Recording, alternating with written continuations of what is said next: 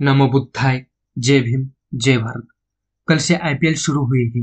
दुनिया के लाखों करोड़ों लोग क्रिकेट खेलना पसंद करते हैं और देखना भी।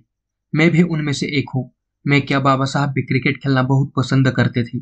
बचपन से ही उन्हें मैदानी खेलों का बहुत शौक था। उन्हें खेल के अलावा कौन कौन सी चीज़ें ज़्यादा पसंद थी? आज की वीडियो में हम यही जानने वाले हैं। वीडियो शुरू करने से पहले अगर आपने अभी तक इस चैनल को सब्सक्राइब नहीं किया है तो ज़रूर सब्सक्राइब करें और साथ में दिए गए बेल आइकन को दबाना मत भूलें इसी के साथ नए वाले चैनल को भी ज़रूर सब्सक्राइब करें ज्वाइन बटन के ज़रिए चैनल के सदस्य ज़रूर बने। और हाँ फेसबुक पेज को ज़रूर फॉलो करें। तो बाबा साहब को न केवल किताबें पढ़ने का, बल्कि खेलकूद का भी शौक था। अपनी युवावस्था में वे कई खेल खेला करते थे। इस संदर्भ में धनंजय किर लिखते हैं, उन्होंने बचपन में क्रिकेट खेला था, जब वे उनकी पत्नी माता रमाई की तबीयत में सुधार के लिए धारवाड़ गए थे। तो उन्होंने वहाँ के वंचित समुदाय के छात्रों के लिए चलाए गए छात्रावास के बच्चों के साथ क्रिकेट खेला था।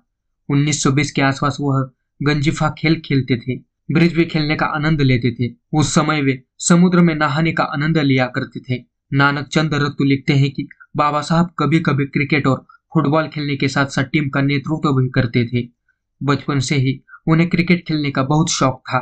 बचपन में मुंबई में चौल में अपनी क्रिकेट टीम के कप्तान थे। और बॉलिंग के साथ साथ बल्लेबाजी एक्सीलेंट करते थे।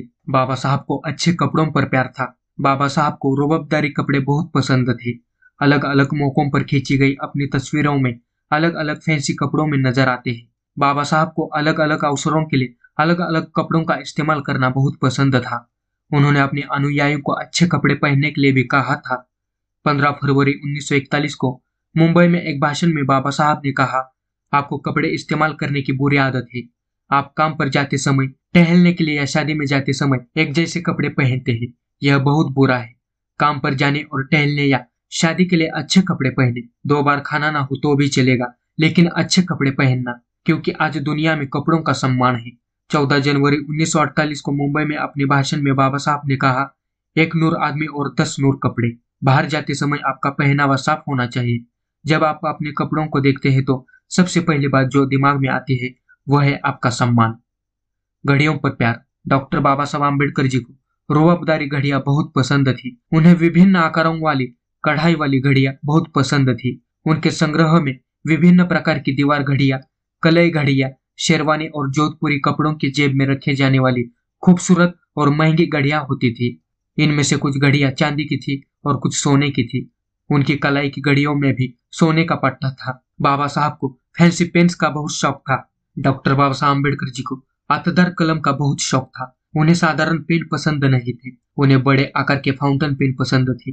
वे फ्लफी पेन का इस्तेमाल करते थे, जो उनके कोट के जेब पर अच्छे लगते थे। उनके पास कुछ सोने के पेन भी थे। वे विशेष अवसरों के लिए उनका इस्तेमाल करते थे। बाबा साहब को अपने विशाल लेखन कार्य के लिए लगातार अलग अलग कलमों की आवश्यकता थी। इसलिए जब भी वे कलम खरीदते थे तो वे एक बार में पाँच या छह कलम खरीदते थे। बाबा साहब की इस रुचि के बारे में उनके सहायक नानक चंद रत्तु लिखते हैं। पुस्तक के साथ साथ बाबा साहब को विभिन्न प्रकार और आकार के फाउंटेन पेन का शौक था। उन्हें साधारण कलम पसंद नहीं थे। उनकी पसंदीदा कलम पार्कर, शेफर और वाटरमैन थे। किताब पढ़ने का शौक। डॉक्टर बाबा साहब आम्बेडकर जी को पढ़ने का बहुत शौक था। उनके पिता सूबेदार राम जी अंबेडकर जी ने बाबा साहब को बचपन से ही पढ़ना सिखाया था। वे उनके लिए पढ़ाई के अलावा अन्य विषयों की किताबें लाया करते थे। अगर उनके पास के पैसे खत्म हो जाते तो?